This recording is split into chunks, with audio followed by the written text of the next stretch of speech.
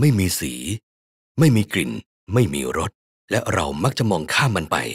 มันปกคลุมพื้นที่กว่า 70%ของโลก หมุนเวียนจากมหาสมุทรและแม่น้ำไปยังเมฆและกลับลงมาอีกครั้ง แถมยังมีอยู่ 60%ในร่างกายเราทุกคน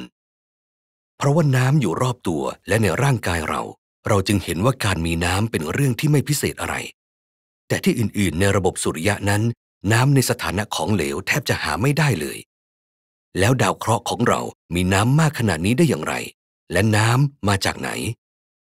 อย่างที่อาจจะทราบกันอยู่แล้ว โมเลกุลของน้ำประกอบด้วยส่วนประกอบพื้นฐานสองอย่าง ไฮโดรเจนธาตุที่ซับซ้อนน้อยที่สุด เกิดขึ้นไม่นานหลังการกำเนิดของจักรวาล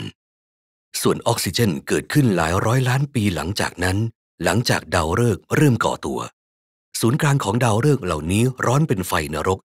มีแรงดันสูงมาก ทำให้อะตอมของไฮโดรเจนรวมตัวกัน แล้วเกิดเป็นฮีเลียม ฮีเลียมก็รวมตัวกันอีกทอดหนึ่ง เกิดเป็นธาตุที่หนักกว่า เช่น เบริเลียม คาร์บอน และออกซิเจน ในกระบวนการที่เรียกว่า nucleosynthesis เมื่อดาวฤกษ์ยุบตัวลงในที่สุด และระเบิดออกเป็นซูเปอร์โนวาธาตุใหม่เหล่านี้ก็กระจายออกไปทั่วจักรวาล และรวมตัวกันเป็นสารประกอบใหม่ ๆ เช่น H2O ที่รู้จักกันดีในปัจจุบัน โมเลกุลน้ำเหล่านี้ปรากฏอยู่ในเมฆฝุ่นที่ประกอบขึ้นเป็นระบบสุริยะของเรา และพุ่งชนดาวเคราะห์ของเรา หลังจากที่ก่อตัวสำเร็จแล้ว แต่มีคำถามสำคัญข้อหนึ่งที่เรายังไม่ทราบคำตอบ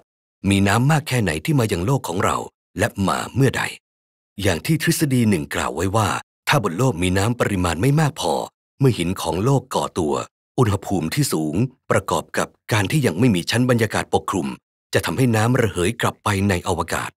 ไม่มีทางที่น้ำจะอยู่บนโลกได้ จนกระทั่งอีกหลายร้อยล้านปีต่อมา เมื่อชั้นบรรยากาศแรกเกิดขึ้น ผ่านกระบวนการที่เรียกว่าการกำจัดแก๊สออก ซึ่งเกิดขึ้นเมื่อหินหนืดในแกนโลก ปล่อยแก๊สภูเขาไฟออกมาเหนือพื้นผิวโลก เกิดเป็นชั้นบรรยากาศที่สามารถกันไม่ให้น้ำหลุดออกไปได้ ถ้าอย่างนั้นน้ำจะกลับมายังพื้นโลกได้อย่างไร นักวิทยาศาสตร์สงสัยมานานแล้วว่าน้ำส่วนมากถูกนำมายังโลก โดยดาวหางที่มีน้ำแข็ง หรือน่าจะเป็นดาวเคราะห์น้อยหลายดวง ที่พุ่งชนโลกในช่วงเวลาหลายล้านปี งานวิจัยใหม่ๆ ได้ท้าทายทฤษฎีนี้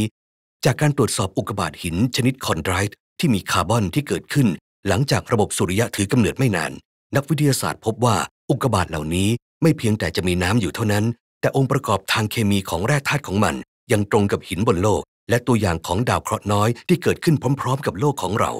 แสดงให้เห็นว่าโลกของเราอาจสั่งสมน้ำปริมาณมาก ที่สามารถอยู่บนโลกได้ตั้งแต่ช่วงแรกๆแม้ว่าจะไม่มีชั้นบรรยากาศก็ตาม ส่วนดาวเคราะห์น้อยก็อาจนำน้ำมาเพิ่มในช่วงต่อๆมา ถ้าสมมติฐานนี้เป็นจริง ชีวิตอาจถือกำเนิดขึ้นเร็วกว่าที่เราเคยคิดไว้ เรายังไม่รู้แน่ชัดว่าน้ำบนโลกของเรานั้น มาจากน้ำที่เพิ่งเกิดขึ้นในช่วงเริ่มต้น เข้ามาภายหลัง หรือทั้งสองอย่างประกอบกัน